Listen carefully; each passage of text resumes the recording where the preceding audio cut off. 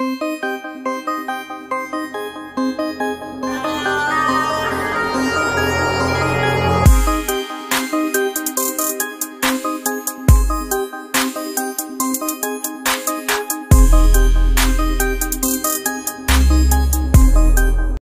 Latest information बात करेंगे NEET PG counselling 2022 mop up round reporting start today list of required document सारी information देंगे return देंगे चलिए शुरू करते हैं national eligibility cum entrance test post graduation NEET PG mop up round counselling 2022 result is release Candidate who have been allotted seat will be required to report from today November 20.